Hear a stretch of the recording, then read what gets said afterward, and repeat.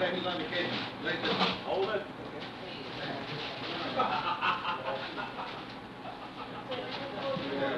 But it's an unusual story. It's a one of a kind. Uh, there is no question of it. Uh, the actions toward the customer, if the customer walks in the door, you must give his order immediately. If not, sometimes I push him back out to read the menu on the outside.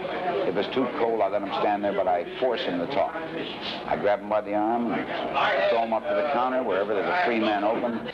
I say now that I don't know what percentage anymore is gimmick or my own neurosis as far as having the customer wait on immediately or uh, neurotic situation. I, there's no question about it. Thank you. 15. You got it? No, you haven't. Here you are, sir. Yes, please. Give it That's the way to go. Come on with me. Yes, That's the way to go. You, sir. You, sir. Hold it out, Come on, JC. I'll find somebody else. Corned beef on rye, no mustard. For the man at the end. Yes, sir. You already got it. Yes, sir. Get over here. Wait on this man. All right.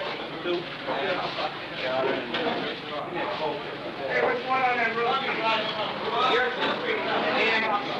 Hello. What do you have there? What do you have? Here he is. Here he is. Get him. Get him. You got Joe, this guy won't talk. Maybe you can get him to talk. cornbread. I'm right or white. Oh, fine.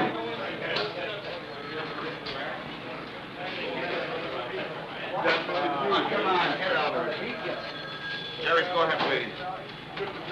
Yes, ma'am. Everything on it, dear? Everything on it. Two fries. What else, ma'am?